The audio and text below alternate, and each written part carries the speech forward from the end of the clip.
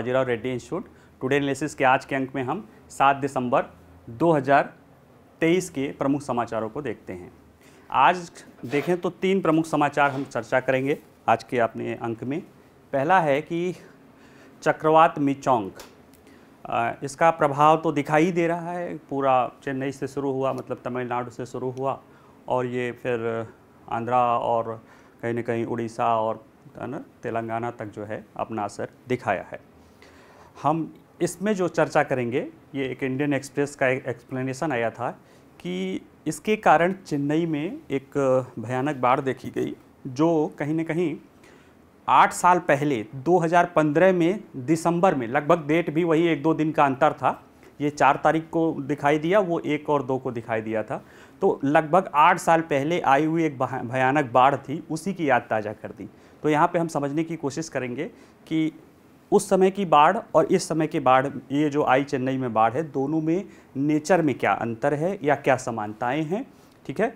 और थोड़ा बहुत जो है कि मिचांग का इस बार इतना चेन्नई में बाढ़ पर क्यों प्रभाव रहा, इसको हम समझने की कोशिश करेंगे, ठीक है? दूसरा न्यूज़ जो है, वो है स्टैंडर्ड और पुअर करके एक ग्लोबल रेटिंग एजेंसी है, काफ़ी प्रतिष्ठित ग्लोबल रेटिंग एजेंसी है। उसने जो है, ये कहा है कि भारत जो है 2030 तक दुनिया की तीसरी अर्थव्यवस्था हो जाएगी। और साथ ही में उसने जो है भारत को लेके जो है अ, 2023 वित्त वर्ष 2023-24 जो 1 अप्रैल 2023 से शुरू होके 31 मार्च 2024 तक है। तो यानी वित्त वर्ष 23-24 24-25 25-26 और 26-27 को लेकर जो है उसने विभिन्न आंकड़े जारी किए हैं जो कहीं ना कहीं वो बताता है कि इस दौरान भारत दुनिया की प्रमुख जो बड़ी अर्थव्यवस्थाओं में है, उसमें से लगातार सबसे ज़्यादा तेज़ी से विकसित होती अर्थव्यवस्थाएँ होगी। तो उसको हम समझने की कुछ कासन्स बताए हैं, कुछ अवसर बताए हैं, उसको हम समझने की कोशिश करते हैं, ठीक है? तीसरा समाचार जो है, वह है, अभी जैसे कि आपको कॉप ट्वेंटी एट सम्मेलन चल ही रहा है तीस नवंबर से, उसमें विश्व मौसम संगठन, जो कि संयुक्त राष्ट्र संघ का एक मौसम संबंधी ऑर्गेनाइजेशन है, उसने एक डिकेडल जो है, जलवायु परिवर्तन पे, डिकेडल मतलब दशकीय जो है 2011 से लेकर 2020 तक जो जलवायु परिवर्तन की और उसमें जो घटनाएँ हुई हैं, उसके कारण जो है, उसको प्रकाशित किया है और उसमें बताया है कि भारत जो है, का जो पिछला 2011 से 2020 का दशक है, वह आर्द्र यानी कि वेट और उष्ण, गर्म दोनों चीज़ों से इसमें प्रभावी दिखाई देता है। ठीक है? चलिए आइए एक एक करके समझने की कोशिश करते हैं। चक्रवात मिचोंग का चेन्नई में कहर 2015 की बाढ़ से समानताएँ एवं अंतर। देखिए, मिचोंग जो है एक उष्णकटिबंधीय चक्रवात है, जो कि बंगाल की खाड़ी में उत्पन्न हुआ है। और देखा जाए तो चेन्नई के तट से काफ़ी करीब, लगभग 80-90 किलोमीटर दूर इसका उत्पन्न होता है।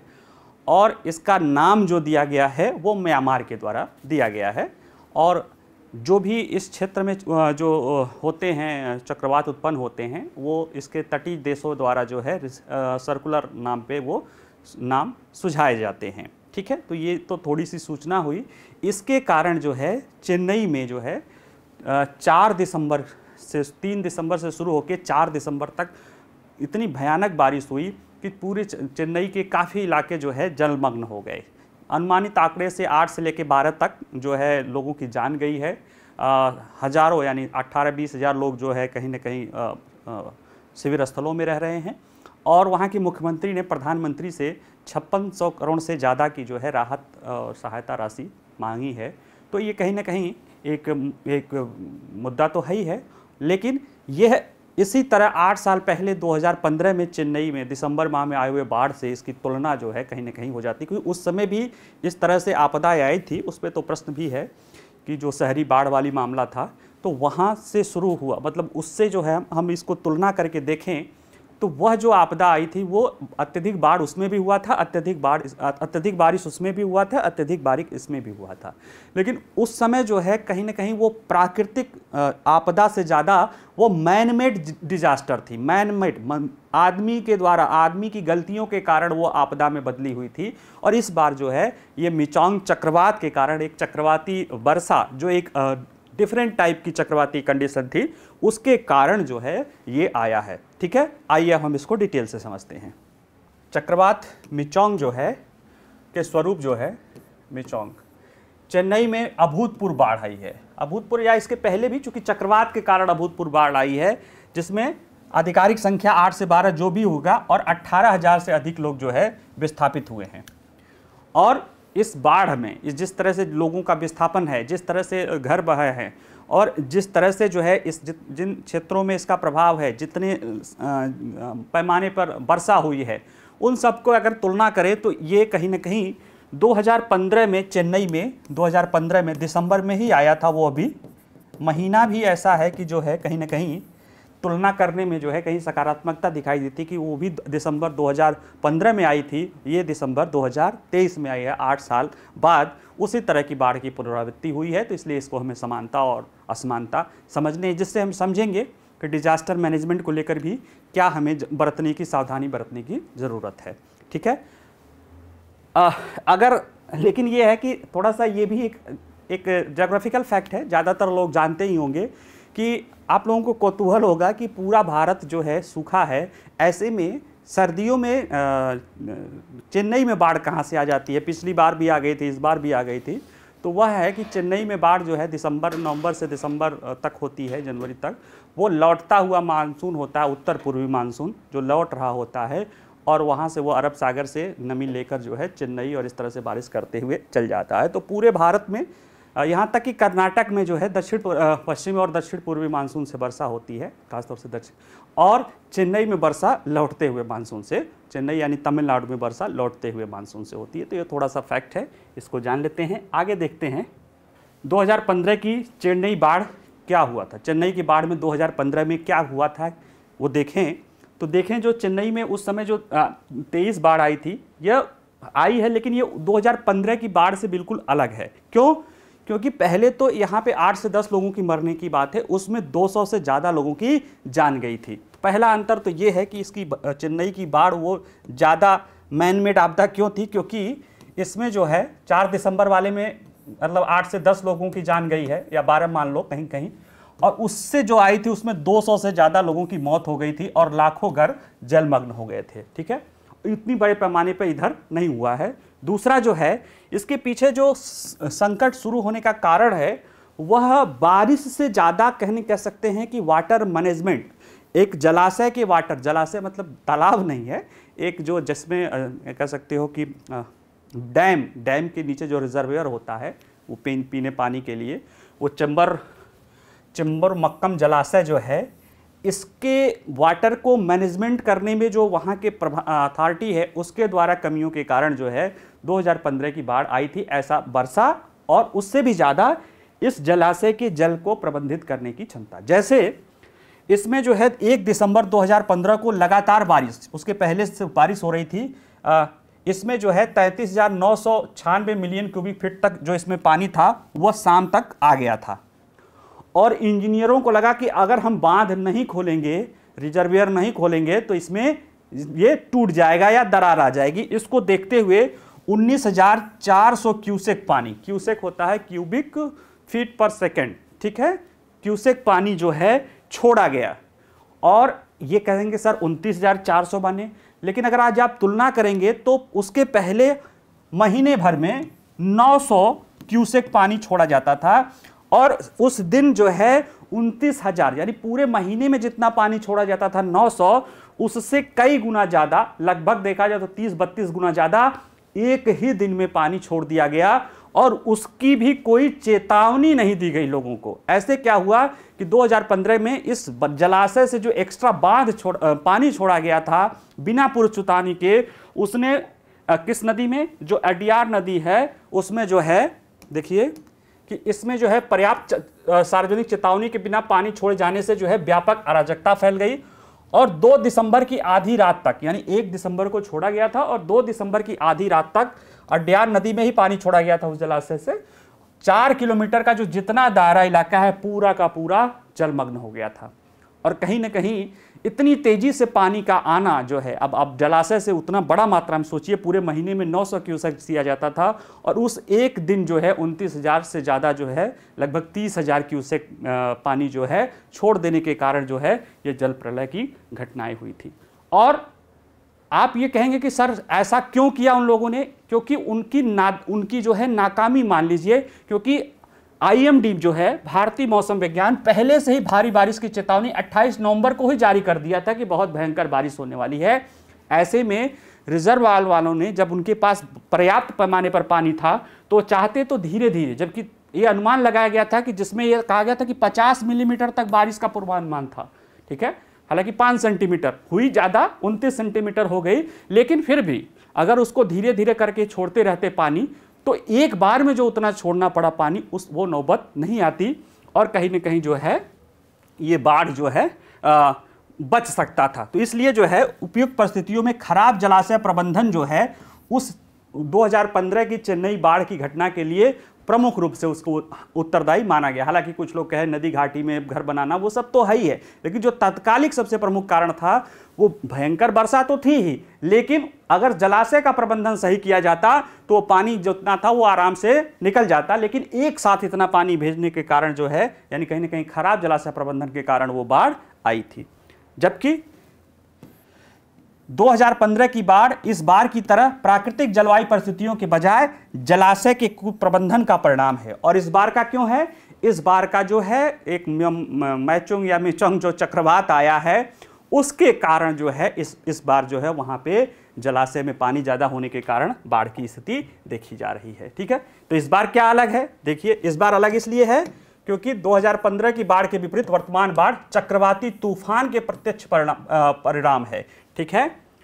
इस दिन जो है, चेन्नई में 4 दिसंबर को ही, यानी दो तीन दिन पहले जो है, एक दिन में ही 24 24 सेंटीमीटर वर्षा हो गई थी। हालाँकि 2015 में भी 29 सेंटीमीटर दर्ज की गई थी, लेकिन उसको छोड़ के सबसे ज़्यादा वर्षा दर्ज की गई थी।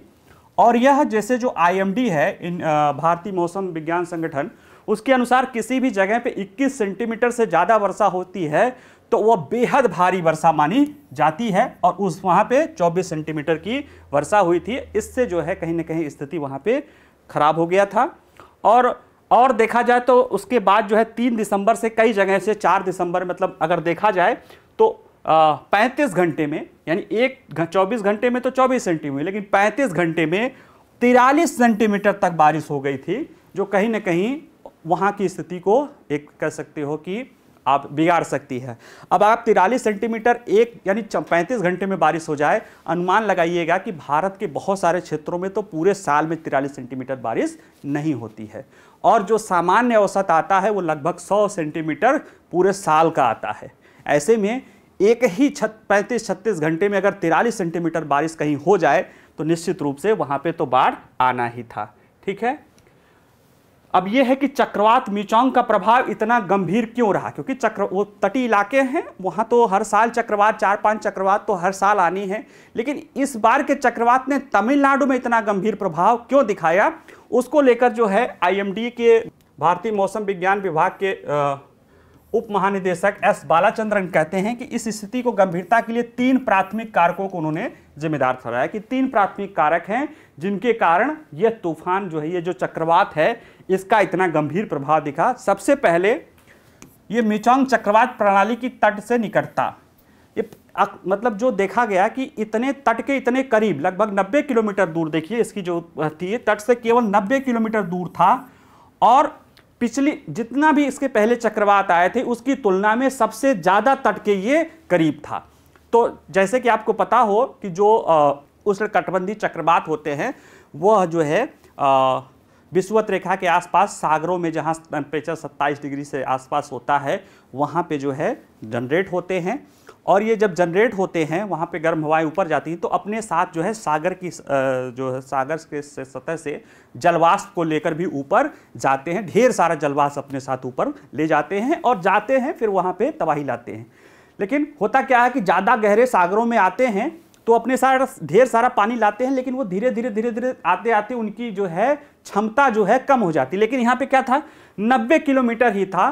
तो इतना पास होने के कारण जो है, उसमें जो है क्या है? ऊर्जा बहुत ज़्यादा थी, यानी उसमें जो है डिस्ट्रक्टिव पावर बहुत ज़्यादा थी। और दूसरी बात है कि इसमें जो उसमें उन्होंने बताया कि ये चक्रवात प्रणाली ने असमान रूप से स्थिर गति प्रदर्शित की। अमूमन जो चक्रवात होता है वो हवाएँ तो उसमें जो चलती वो चलती हैं, लेकिन जो चक्रवात की स्पीड भी होती है, वो आमतौर पे जो है 10 से 18 किलोमीटर प्रति घंटे की गति से चलने, चलती है वहाँ की जो चक्रवात होती है। लेकिन इसकी गति जो है, वहाँ से चली घट के सात किलोमीटर हो गई, फिर उसके बाद आगे चलकर ये केवल पाँच किलोमीटर प्रति घंटे की रफ्तार से हो गया। यानी कि जैसे तट के आसपास आया, इसकी गति इतनी कम हो गई कि एक तरह से लगा कि वहाँ पे स्थिर हो गया। और ये अपने साथ चूँकि सागर तल पे ही उसने अपने साथ ढेर सारा जो है कहीं ना कहीं जलवास अपने पास और इकट्ठा करना शुरू कर दिया। और वो क्या कर रहा था? वो ले जाके, देखिए, लगभग स्थिर गति सी हो गई। और फिर कह रहे, तीसरा और शायद सबसे महत्वपूर्ण कारक, स्थिर रहने के दौरान चक्रवात प्रणाली का तीव्र होना। क्योंकि वो कहाँ था? स्थिर होना उसके बाद भी वो कहाँ था कि वो सागर में ही था और वहाँ पे उसको जलवास मिलता जा रहा था और वो और ज़्यादा अपने, अपनी, उसकी ऊर्जा जो है, उसकी क्षमता जो है, बढ़ती जा रही थी। और जब इसके तट करीब हुआ तो इस तीव्रता के कारण भारी और लंबे समय तक बारिश हुई। देखिए 35 घंटे तक लगातार बारिश तिरालीस सेंटीमीटर हो गई। उसकी वजह से यही है कि तट के पास था। स्पीड बहुत कम थी और स्पीड कम होने के कारण उसके अंदर बहुत ज़्यादा उसने अपने आप में जो है जलवास भर लिया था और चूँकि बहुत तेज़ी से निकल गया होता, बहुत तेज़ी से बारिश करके निकल गया होता तो निकल गया होता, वहाँ पे क्या था? रुक गया था। पाँच किलोमीटर की स्पीड यानी लगभग रुक गया था। वो बड़े आराम से बारिश करते हुए निकला, जिसके कारण वहाँ पे ये जो है, इस तरह के गंभीर जो है परिणाम दिखाई दिए थे। ठीक है? तो हम तुलना कर सकते हैं, ये चीज़ समझ सकते हैं कि मेचांग चक्रवात के कारण क्यों आया? वो तो समझ लिए कि तीन प्राथमिक कारण बताए, उनके जो आईएमडी वालों ने बताया कि तीन प्रमुख। एक, तट से काफ़ी नज़दीक का होना।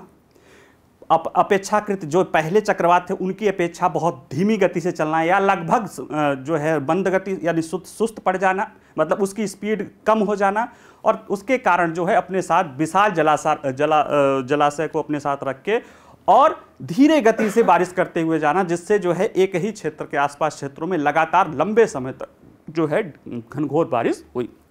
इस वजह से वर्तमान समय का जो है बाढ़ चेन्नई में आई थी। जो 15 का दिसंबर 2015 में जो बाढ़ आई थी, वह जो है इस तरह की चक्रवाती परिस्थितियाँ नहीं थी। उसमें क्या था कि भारी बारिश का अनुमान था और उस अनुमान पे ध्यान नहीं दिया गया। हालाँकि उसमें भी भारी बारिश हुई थी, लेकिन उससे भी ज़्यादा उसके लिए अगर जलाशय का जल नहीं छोड़ा गया होता तो संभवतः वो उतना विनाश विनाश लीला नहीं आई होती, क्योंकि जलाशय में पर्याप्त मात्रा में जल हो जाने पर उनको पता था कि बारिश होनी है तो वो धीरे धीरे करके जल छोड़ सकते थे। और एक ही बार में उनतीस हज़ार क्यूसेक से ज़्यादा, यानी जो साल भर महीने भर का जो औसत है, उससे लगभग तीस गुना से ज़्यादा जल एक ही दिन में छोड़ जाने के कारण उस समय चेन्नई में प्रचंड बाढ़ आई थी। ठीक है? आइए चलिए दूसरा देखते हैं। S and Poor Standard and Poor जो है, ये ग्लोबल रेटिंग एजेंसी है। ये कहीं ना कहीं दुनिया के पूरे उसको लेकर और दुनिया की अर्थव्यवस्थाओं को लेकर जो है, यह आंकड़े प्रकाशित करती रहती है, अपने अनुमान प्रदर्शित करती रहती है। इसका जो है परचेसिंग मैनेजर इंडेक्स और परचेसिंग मैनेजर इंडेक्स सर्विस वाला जो है, वो काफ़ी महत्वपूर्ण माना जाता है। और उसके ज़रिए जो है, विभिन्न देश अपने यहाँ, या विभिन्न तरह के जो कह सकते हैं इंडस्ट्री में जो कार्य करने वाले लोग हैं, वह इसको बहुत महत्व देते हैं। तो निवेशकों द्वारा भी, चूँकि ये क्रेडिट रेटिंग एजेंसी है, इसको निवेशकों को द्वारा किसी देश में दीर्घकालीन और इस तरह के निवेश करने में इस, इन, इनके जो है रिसर्च का महत्व रहता है, ठीक है? तो ये एक कह सकते हो विशेषज्ञ संस्थाएँ हैं, जो देशों की अर्थव्यवस्थाओं को के आधार पर अध्ययन करते रहती हैं, ठीक है? ये निजी क्षेत्र ही है, लेकिन ये है कि एक प्रमुख संस्थान है जो इसलिए जो है, इस पर भी लोग ध्यान देते हैं। जैसे अभी कुछ किसी संस्था ने जो है, चीन का जो है रेटिंग जो है घटाया है तो उससे चीन काफ़ी आहत हुआ है। ठीक है? चलिए, इसमें जो बात आई है, उसमें ये बता रहा है स्टैंडर्ड एंड पुअर कि जो भारत की विकास दर है, अभी जो है जिस तरह से है, और जो उसने अनुमान लगाया है अगले चार साल का, उसमें ये बता रहा है कि भारत दुनिया की जो प्रमुख अर्थव्यवस्था है, उसमें सबसे तेज़ी से बढ़ता देश होगा। प्रमुख क्यों? क्योंकि कई सारे हो सकता है छोटे छोटे देश हों, या हो सकता है कोई देश अभी माइनस में चल रहा हो, इसके बाद एकाएक वो 10 परसेंट, पंद्रह परसेंट, उसकी बात नहीं कर सकते लेकिन जो बड़े देश होते हैं, जो प्रमुख देश होते हैं, उनमें भारत सबसे तेज़ी से अभी भी बढ़ रहा है, पिछले साल भी बढ़ा था, और आगे भी चार पाँच साल ये बता रहा है कि वो उसी दर से बढ़ता रहेगा। ऐसे में ये 2030 तक दुनिया की तीसरी सबसे बड़ी अर्थव्यवस्था हो जाएगा। और साथ ही में इसने कहा है कि जो भारत का विकास अनुमान है, जो वर्तमान का विकास अनुमान है, वो कई सारे लोगों के उम्मीदों से ज़्यादा हो रहा है, ठीक है? उसके पीछे जो कारण है, उसने जो बताया है, उसने बताया है कि अगर आप भारत को और बेहतर करना है, भारत तो बेहतर कर ही रहा है, लेकिन और बेहतर करना है तो भारत को अपनी जो मैन्युफैक्चरिंग सेक्टर है वो जो अभी सर्विस इंडस्ट्री में मेनली भारत की अर्थव्यवस्था में सर्विस इंडस्ट्री का योगदान बहुत है, करीब 60 परसेंट से ज़्यादा है। ऐसे में वो कह रहा है कि भारत सर्विस इंडस्ट्री के साथ साथ जो है, उसको, उसके, अगर वो मैन्युफैक्चरिंग हब के रूप में अपने को स्थापित कर लेता है, जो कि भारत करना चाहता है, चीन के विकल्प के रूप में अपने को मैन्युफैक्चरिंग हब के रूप में, सरकार ने भी बहुत सारी योजनाएँ चलाई कर सकता है। और साथ ही में अगर वो जो अपने डेमोग्राफी डेविडेंस है, जो जनसांख्यिकी लाभांश है, जो उसके यहाँ कार्यशील जनसंख्या का बड़ा वर्ग है, जो जवान जनसंख्या का, अगर उसको अनलॉक कर लेता है तो अनलॉक करने के लिए वो बताता है कि ज़्यादा से ज़्यादा लोगों को स्किल दीजिए और महिला आबादी को शामिल कर लीजिए तो भारत को कोई संक नहीं है कि वो दुनिया की तीसरी अर्थव्यवस्था बन जाएगी, ठीक है? और वो बताता है कि क्या क्या अवसर है और दुनिया के अगर आप कहें कि वैश्विक विकास दर को भी इसने लेकर अनुमान बताया है तो वह कुछ बहुत अच्छा नहीं बताया है। उसको भी हम थोड़ा सा देख लेंगे ताकि पता लगेगा कि कहीं हमारे लिए ही तो नहीं अच्छा बताया है। कई बार होता है कि नहीं, दो लोग हों, एक की आप तारीफ़ कर दो और चलो खुश हो रहा है। दूसरा उसकी उससे ज़्यादा तारीफ़ हो जाए तो थोड़ा सा लगता है, अरे यार, जब वो सब पूरी दुनिया अच्छा कर रही थी तो हम अच्छा करके क्या हुआ? ये भारत की उल्लेखनीय इसलिए है क्योंकि दुनिया की स्थिति गड़बड़ है। ऐसे में भारत ही वो कह सकते हैं कि वो एक उभरता हुआ सितारा है, एक आप कह सकते हो। ये कहीं ना कहीं ये भारत सरकार नहीं कह रही है। ये भारत, आप किसी का, किसी इंटर गवर्नमेंटल बॉडीज भी नहीं कर रही है। ये वो, क्रेडिट रेटिंग एजेंसियाँ हैं जो हमेशा से कहीं ना कहीं जो है वो अपने इंटरेस्ट को, अपने जो जो उनके पाठक हैं या जो उनके जो उनके ग्राहक हैं, उनके इंटरेस्ट को ध्यान में रखते हुए ये सारी चीज़ें करते हैं। अगर उनके द्वारा ये चीज़ें कही जा रही है तो ये निश्चित रूप से हमारे लिए सकारात्मक है। आइए समझते हैं इसको लेके। क्या कह रही है? इसने अपनी report global credit outlook 2024 new risk and new playbook में कहा कि भारत 2030 तक तीसरी सबसे बड़ी अर्थव्यवस्था बनने के लिए तैयार है और अगले तीन वर्षों में सबसे तेज़ी से बढ़ती प्रमुख अर्थव्यवस्था होने की उम्मीद है। यानी अभी तो है ही है, आगे भी हो सकता है। उसमें कहा है कि तीसरी सबसे बड़ी अर्थव्यवस्था बनने के लिए भारत को क्या करना होगा? भारत का विकास पथ कि सर्वोपरि परीक्षण, यानी उसका सबसे ज़्यादा इस पर देखना हमें ध्यान देने की ज़रूरत है कि भारत कैसे सेवा आधारित अर्थव्यवस्था से वैश्विक विनिर्माण केंद्र ग्लोबल मैन्युफैक्चरिंग हब के रूप में अपने को स्थापित करता है। अभी कौन है ग्लोबल मैन्युफैक्चरिंग हब? चीन है। तो कैसे चीन के विकल्प के रूप में भारत अपने को सर्विस इंडस्ट्री की जगह स्थापित करता है यह निर्धारित करता, करेगा कि भारत तीसरी अर्थव्यवस्था बनेगा या नहीं बनेगा। ठीक है? और उसके लिए जो ज़रूरी है, ग्लोबल वैश्विक निर्माण हब के लिए ज़रूरी है, उसके लिए है कि एक मज़बूत लॉजिस्टिक ढांचा विकसित करना होगा। और साथ में भारत को सेवा प्रधान अर्थव्यवस्था से विनिर्माण प्रमुख अर्थव्यवस्था में बदलने के महत्वपूर्ण जो है, कहीं ना कहीं प्रयास करने होंगे। ठीक है? चलिए देखते हैं कि भारतीय अर्थव्यवस्था उम्मीदों से आगे निकल रही है। देखिए मैं मैं तो जो हमारे बच्चे हैं, पहले से पढ़ रहे हैं, वो जान रहे हैं कि पिछले साल भी मैंने जो कहा था, उतना ही या उससे एक आध एक आध बेसिक्स पॉइंट या उससे ज़्यादा ही रहा।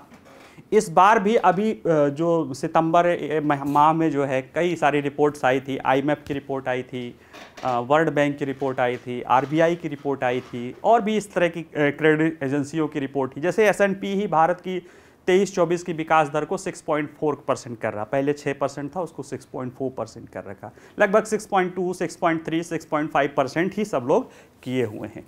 तब भी मैंने कहा था कि लेकिन जो बाकी पैरामीटर्स बता रहे हैं, वो ये बता रहे हैं कि अंतिम जब आएगा तो भारत सात प्रतिशत के आसपास बढ़ेगा, क्योंकि इसके पहले जो बढ़ा था, वो एक्चुअल में 7.2 परसेंट बढ़ा था। क्योंकि जो भी अनुमान लगाया गया था, जो उसका एक्चुअल आया था, वो उससे ज़्यादा हो गया था। तो ये एक होता है मोमेंटम भारत ने एक सकारात्मक मोमेंटम ले लिया है, भारत की अर्थव्यवस्था। और ये हमारे नहीं भारत के लोगों के अंदर भी ये होती है और इंडस्ट्रीज़ के लोग सबके अंदर जब होती है तो जब सकारात्मक माहौल बनने लगता है तो अर्थव्यवस्था भी उसी तरह से पूरी अर्थव्यवस्था में सकारात्मक वो चीज़ें दिखने लगती हैं। तो वो मोमेंटम है। जैसे पहली तिमाही में 7.6 परसेंट आया सिक्स सेवन परसेंट आया था मतलब अप्रैल से लेके जो है, जून तक जो है, फिर जो दूसरी तिमाही आई उसमें जब 7.6 परसेंट आ गया तो अब जो है भारतीय जो लोग हैं, यानी आरबीआई इस तरह के, अभी ऑफिशियली नहीं कि सात परसेंट मान रहे हैं, लेकिन मैं पहले से ही सात परसेंट के ऊपर का मैं अनुमान लेके चल रहा हूँ, फिर भी। वो मेरा अनुमान है। लेकिन जितने भी लोग हैं, वो ये मान रहे हैं कि भारत जो भी दुनिया अनुमान अगर वो किसी ने छः परसेंट लगाया है तो उसको मजबूर होकर आगे बढ़ाना पड़ रहा है। अभी डर ही रहा है क्योंकि वैश्विक परिस्थितियाँ बड़ी वोलेटाइल है। भारत को छोड़ दिया जाए तो बाकी दुनिया की स्थिति बहुत अच्छी नहीं है। ऐसे में थोड़ा सा लोग कॉशियस हैं। और कॉशियस होके वो थोड़ा न कहीं ना कहीं जितने भी हैं, वो कहीं ना कहीं कम बता रहे हैं कि कम बताएँगे, ज़्यादा हो जाएगा तो कोई दिक्कत नहीं। ज़्यादा बताएगा अगर कम हो गई तो ज़्यादा नुकसान या आलोचना झेलनी पड़ती है, ठीक है? तो इसलिए देखिए, ये बता रहे हैं ग्लोबल रेटिंग वाले जो है एसएनपी वाले, कि 2023-24 में भारत की विकास दर 6.4 परसेंट रहने की उम्मीद है, जो पिछले वित्तीय वर्ष जो एक्चुअल डेटा था, ये वास्तविक डेटा था, ठीक है? वास्तविक डेटा जो है, ये 7.2 परसेंट था, और इसने भी पहले 6 परसेंट रखा था, लेकिन बाद में 6.4 परसेंट कर दिया था, जब पहले तिमाही के आंकड़े आए थे तो। साथ ही इसने बताया कि भारत की विकास दर 2024-25 में, यानी 23-24 में 6.4 2024-25 में भी उसको 6.4 परसेंट ही इसने माना, कि उतना ही रहेगा। 25-26 में इसने बढ़ा के कहा सेम 6.9 परसेंट रहेगा। और 26-27 में ये सात फ़ीसदी हो जाएगा। यानी ये बताया कि इस साल के बाद जो अगले साल तीन साल, चार साल हैं, उसमें भी भारत की विकास दर तेज़ी से बढ़ती रहेगी। ये एस एंड पुअर ने बताया और ये जो भी आंकड़े बताए हैं, जो और लोगों के अनुमान हैं, उससे कहीं ज़्यादा है। और मेरा तो कहना है इससे, इसमें जितना भी आया है, उसमें कम से कम पॉइंट फाइव आप लोग देखिएगा, ज़्यादा ही रहेगा। ठीक है? अभी तो वीडियो ही रहती है, आप लोग देख लीजिएगा। ठीक है? अब इसमें कह रहे हैं कि वित्त वर्ष 2022-23 के अंत में जो है, Bharat three point seven three trillion dollar थी। यानी तीन दशमलव सात तीन ट्रिलियन डॉलर या तीन हज़ार सात सौ तीस अरब डॉलर की भारत की जीडीपी थी। 22-23 के अंत में, यानी 31 मार्च तक के आंकड़े देखा जाए तो हमारी अर्थव्यवस्था 3.73 ट्रिलियन डॉलर थी। अभी कुछ लोग कह रहे हैं कि चार ट्रिलियन चार ट्रिलियन डॉलर पास हो गया, नहीं हो गया, हम उसमें नहीं उलझते हैं, ठीक है? आईएमएफ कहता है, ठीक है, जो उसने कहा कि भारत जो है 2027-28 तक तीसरी सबसे बड़ी जीडीपी के साथ पाँच ट्रिलियन डॉलर हो जाएगा। आईएमएफ का अनुमान है कि ये जो 3.73 ट्रिलियन डॉलर है, जो कि अभी वैश्विक रूप से देखा जाए तो अमेरिका, चीन, जर्मनी और जापान के बाद चौथे स्थान पे है। हालाँकि अभी जस्ट थोड़ा सा बढ़ा था तो कुछ लोगों ने कहा कि भारत चौथे स्थान पे पहुँच गया है, लेकिन ऑफिशियल डेटा नहीं है। अब देखते हैं, भारत जिस तरह से जो है, लोगों को आश्चर्यचरित मतलब सकारात्मक रूप से अचंबित कर रहा है ये अलग हो सकता है कि एक ही साल, अगले साल ही जापान को वो पीछे छोड़ दे। क्योंकि जापान या जर्मनी में उस तरह की विकास दर नहीं है जबकि भारत तेज़ी से विकास कर रहा है। तो ये कहीं ना कहीं बता रहा है कि आईएमएफ ने भी कह रखा है, वो तो सत्ताईस अट्ठाईस में ही पाँच ट्रिलियन डॉलर होकर आगे हो जाएगा। लेकिन इसने कहा कि अगर इस तरह से चलता रहेगा तो 2030 तक, यानी इस सदी के इस दशक के अंत तक, निश्चित रूप से भारत दुनिया की तीसरी सबसे बड़ी अर्थव्यवस्था हो जाएगा। क्योंकि उसके आगे के जो दो हैं, एक तो जो अमेरिका है वो काफ़ी ही है। और चीन भी जो है चीन और उसमें भी काफ़ी अंतर है तीसरे और दूसरे में। तो कहीं टाइम लगेगा चीन को पछाड़ने में लेकिन आ, हम हमारी अनुमान है आ, कुछ लोग वैसे कहते हैं हालाँकि आपको कंफ्यूज नहीं करेंगे। मान के चलिए अगर आप तीसरी भी अर्थव्यवस्था बन जाते हैं इस सदी के अंत तक मतलब इस दशक के अंत तक सत्ताईस अट्ठाईस उनतीस तीस तक जो कि बन ही जाना है तो भी ये आपके लिए काफ़ी महत्वपूर्ण जो है उपलब्धि हो जाएगी। ठीक है? और इसमें बताया क्या है कि अगर भारत को बनना है तो उसके लिए विनिर्माण प्रधान अर्थव्यवस्था की ओर गमन करना पड़ेगा। जो अभी हम सर्विस सर्विस सेक्टर ग्रोथ हमारा है, उसको मैन्युफैक्चरिंग सेक्टर ग्रोथ के रूप में बदलना पड़ेगा। जैसे अभी अभी जो अभी आया है दूसरे तिमाही का आंकड़ा दूसरे तिमाही का डेटा, इसमें सर्विस इंडस्ट्री उतनी तेज़ी से नहीं विकसित होने के बावजूद भी कंस्ट्रक्शन एंड मैन्युफैक्चरिंग इंडस्ट्री में जो है काफ़ी तेज वृद्धि के कारण कहीं ना कहीं वो विकास दिखाई दिया। इसने बताया कि अगर भारत की आर्थिक वृद्धि भविष्य की काफ़ी हद तक जो है, किस पे निर्भर करेगा कि सेवा प्रधान अर्थव्यवस्था से विनिर्माण पावर हाउस में स्थानांतरित होने की क्षमता, कि भारत की क्षमता कितनी है अपने को सेवा से विनिर्माण की तरफ़ ले जाने में? और उसके लिए भारत ने क्या क्या बना रखा है? मेक इन इंडिया बना रखा है प्रोडक्ट लिंक स्कीम जैसी बहुत सारी घरेलू पहल है विनिर्माण पहल, जिसका मानना है कि इससे इसको क्या होगा? बढ़ावा मिलेगा हालाँकि अभी भी मैन्युफैक्चरिंग सेक्टर जो है जीडीपी का, सकल घरेलू उत्पाद का अठारह प्रतिशत है। यानी विनिर्माण क्षेत्र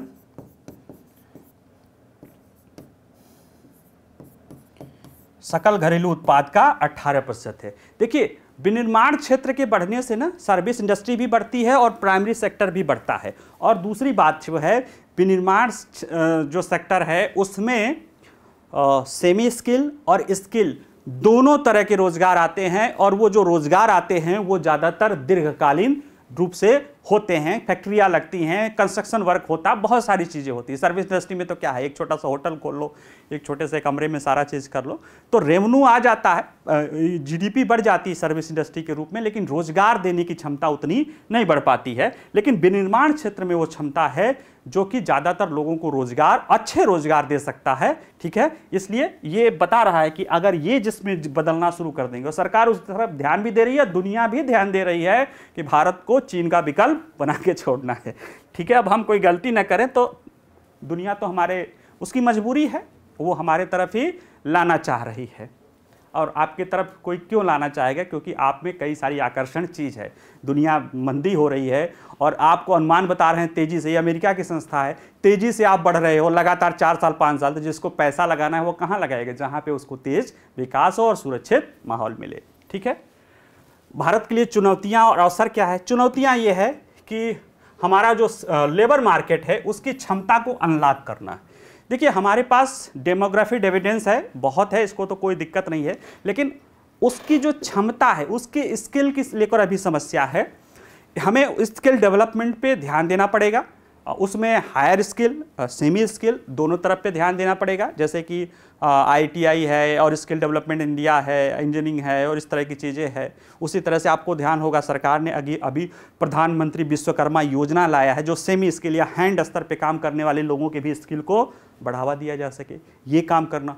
दूसरी जो सबसे गंभीर समस्या है, अगर आप पीछे के क्लास को रेगुलर फॉलो कर रहे होंगे तो जब मैंने विश्व बैंक का रिपोर्ट पढ़ाया था भारत को लेके। तो उसमें बताया था कि यहाँ के कंट्री हेड ने कि अगर भारत को दो हज़ार सैंतालीस तक विकसित देश बनना होगा तो आठ प्रतिशत की ग्रोथ रेट चाहिए।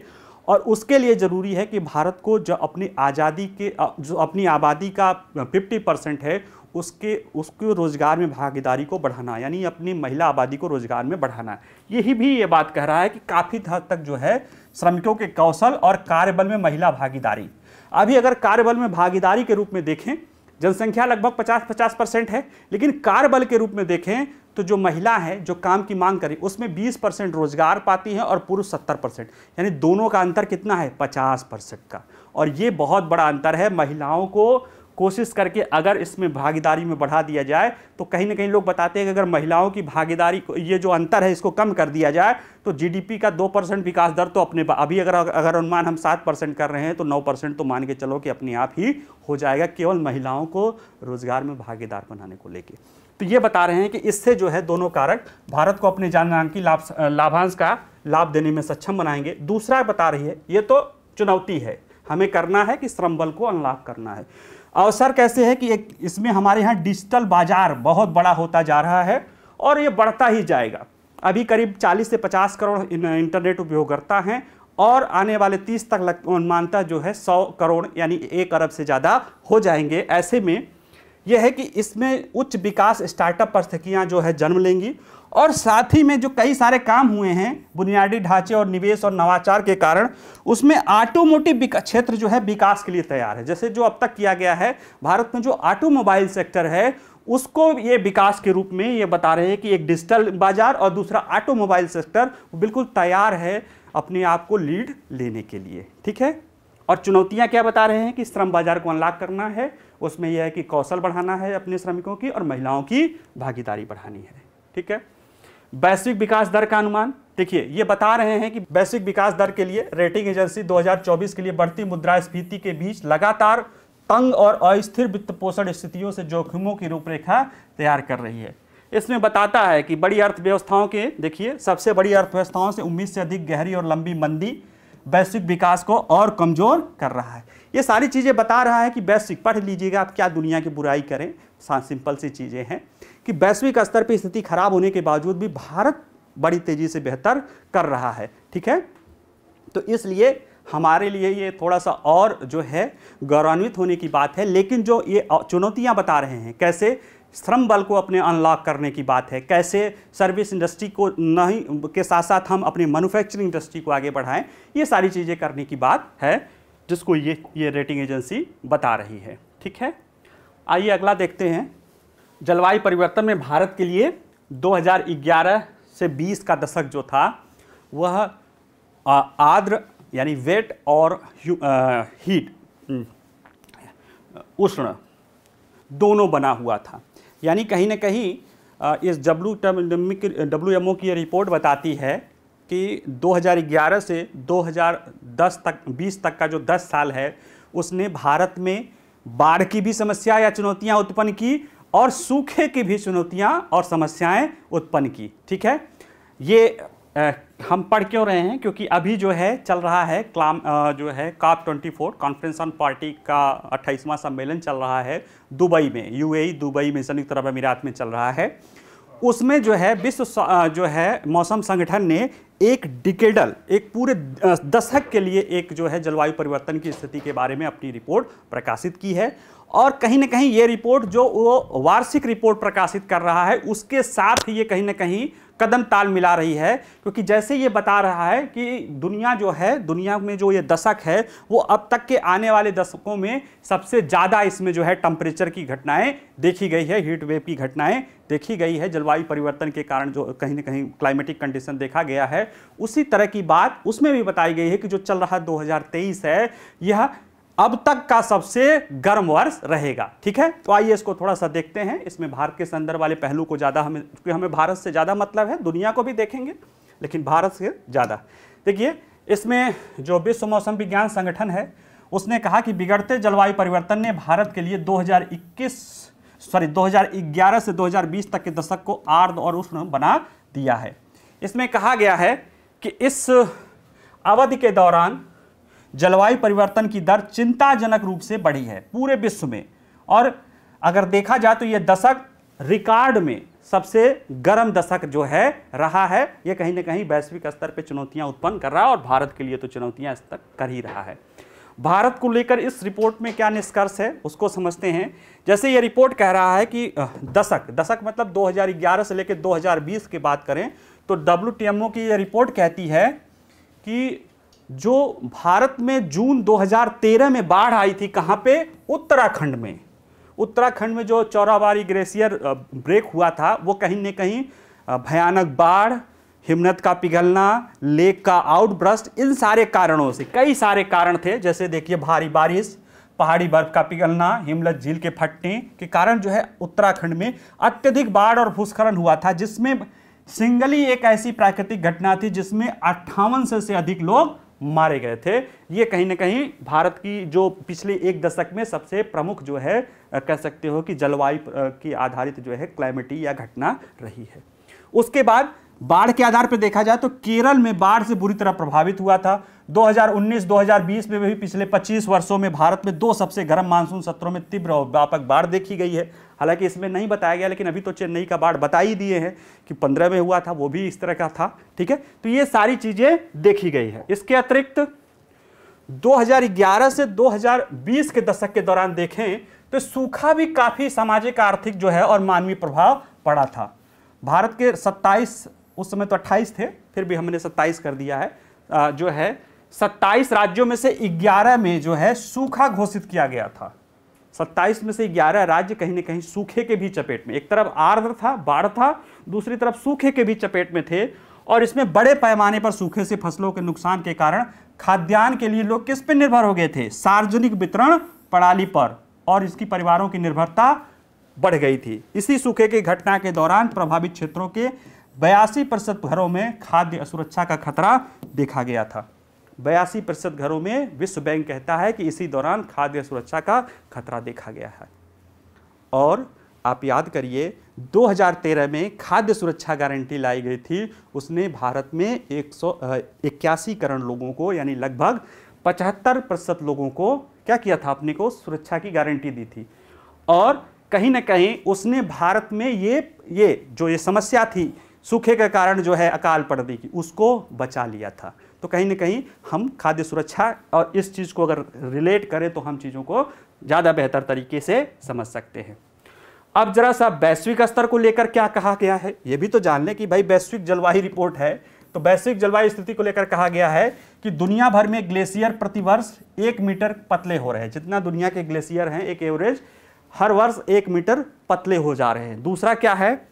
पिछले दशकों में दर्ज किए गए भारी आपदा में जो आपदा से विस्थापन हुआ था, उसमें लगभग चौरानवे प्रतिशत मौसम और जलवायु संबंधी घटनाएँ, यानी क्लाइमेट और जो क्लाइमेट चेंज के संबंधी घटनाएँ थी, उसके कारण जो है डिजास्टर के कारण जो विस्थापन, यानी जो आपदा के कारण विस्थापन होता है, उसमें चौरानवे प्रतिशत क्लाइमेट और जलवायु के कारण हुआ था छः प्रतिशत और मैनमेड और उस तरह की जो है भौगोलिक या और, और किसी कारणों से विस्थापन हुआ था पूरे दुनिया स्तर पे। जैसे युद्ध आदि भी प्रमुख विस्थापन के कारण होते हैं। इसको क्लाइमेट माइग्रेशन बोलते हैं ठीक है? और भूख खाद्य सुरक्षा और कुपोषण के समाप्त करने के जो वैश्विक प्रयास कर रहे हैं उसमें इसने क्या लगा दिया? पलीता लगा दिया। जब चौरानवे प्रतिशत विस्थापित हो जाते हैं तो कहीं ना कहीं ये भूख और इस तरह की चीज़ों पर ये पलीता लगा देते हैं। ठीक है? और क्या कह रहे हैं कि जलवायु परिवर्तन ने कई चरम प्राकृतिक घटनाओं की संभावना को बहुत प्रभावित, यानी बहुत ज़्यादा तरह से उसको, उसने बढ़ा दिया है। हालाँकि ये बात कह रही है कि जैसे ये कह रहा है कि चरम गर्मी की घटना, इसके कारण जो एक्सट्रीम हीट की घटना होती है, उससे काफ़ी बढ़ गई है और हीट वेव से जो भी लोग मौतें, उसमें सबसे अधिक मौतें जो होती हैं या हताहत होते हैं, उसके लिए हीट वेव यानी गर्मी का जो जो मन हीट वेव का प्रभाव होता है, जबकि जो उष्ण कटबंधीय चक्रवात आते हैं जो गर्म सागरों में जो चक्रवात उत्पन्न होते हैं, यानी जो अभी मैचुंग चल ही रहा है या इस तरह के जो चक्रवात होते हैं, उनके कारण सबसे अधिक क्या है? आर्थिक क्षति जो है वैश्विक स्तर पे, वो उष्ण कटबंधी चक्रवातों के कारण होता है और ये 10 साल में देखा गया। और जो जो हताहत होते हैं, वो सबसे ज़्यादा हीट वेव के कारण हताहत होते हैं वैश्विक स्तर पे। हालाँकि इसमें अच्छी बातें भी कही गई थी कि जो अर्ली वार्निंग सिस्टम है, प्रारंभिक चेतावनियाँ प्रणाली है, इसमें सुधार के कारण चरम घटनाओं से मौतों की संख्या में कमी आई है। लेकिन आर्थिक नुकसान बढ़ गया है, क्योंकि अब आर्थिक नुकसान, देखिए, मौसम आएगा, तीव्र गति से आएगा तो अपना तो प्रभाव दिखाएगा ही दिखाएगा। हाँ आदमी वहाँ से चूँकि प्रभाव हो जाएगा, आदमी वहाँ से हट जाता है, लेकिन तो वो उसकी जान बच जाती है, लेकिन कहीं ना कहीं उसकी क्षमता ज़्यादा है, मौसम का जो है प्रहार ज़्यादा हो रहा है जलवायु परिवर्तन के कारण तो वो अपना डिस्ट्रक्टिव पावर तो आर्थिक उस पर दिखाए, दिखाएगा ही, दिखाएगा। ये रिपोर्ट बताती है कि 2011 और 2020 का दशक 1950 के दशक के बाद पहला ऐसा दशक है, यानी लगभग 70 सालों में पहला, सात दशकों में पहला ऐसा दशक है, जहाँ पे जब दस हज़ार या उससे अधिक मौतें का वाली एक भी अल्पकालिक, यानी दीर्घकाल में भले हो गया, जैसे बाढ़ आ गई हो, कोई और इस तरह की प्राकृतिक आपदा हो गया, उसमें एक ही बार में दस हज़ार लोग मर गए हों। जलवायु संबंधी, प्राकृतिक नहीं, जलवायु संबंधी ऐसी कोई घटना नहीं हुई है, जिसमें एक ही बार में दस हज़ार वो भारत में जो हुई थी, उसमें अट्ठावन सौ लोग मरे थे उत्तराखंड की। तो उस तरह की ऐसी कोई भी घटना नहीं हुई जिसमें दस हज़ार से ज़्यादा हो सकें। ये पिछले सत्तर सालों में ये एक बेहतर बात है। दूसरा जो है, इस रिपोर्ट में कहा गया है कि 2021 से 2000 2011 से 2020 के दौरान जो है, सार्वजनिक और निजी क्षेत्रों द्वारा जलवायु के क्षेत्र में जो, जलवायु के क्लाइमेट, रिसाइलेंस या क्लाइमेट कंट्रोल करने के लिए मिटिगेट करने के लिए जो वित्त फाइनेंसिंग होती है, वो दोगुना हो गया है। हालाँकि इससे ये जो है उपयोगी बहुत मतलब ये कह सकते हो कि बहुत ऊँट में, के मुँह में जीरा के समान है, क्योंकि जलवायु उद्देश्यों को प्राप्त करने के लिए इस दशक के अंत तक, यानी 2030 तक, कम से कम जो है उसको सात गुना बढ़ाना पड़ेगा। यानी जो दुगुना किए हो, इससे काम नहीं चलेगा। इस इस जो है सदी के अंत तक आपको सात गुना बढ़ाएँगे, तब जाके जलवायु, क्लाइमेट के जो कंडीशन के जो उद्देश्य हैं, उसको प्राप्त कर सकते हैं। चलिए, आज इतना ही, ठीक है? आपको इसका हैंड आउट अभी मिल जाएगा आपको चौबीस घंटे बाद आ ही जाती है। इसको पढ़िएगा, इसको नोट्स बनाइएगा, ठीक है? चलिए, नमस्कार।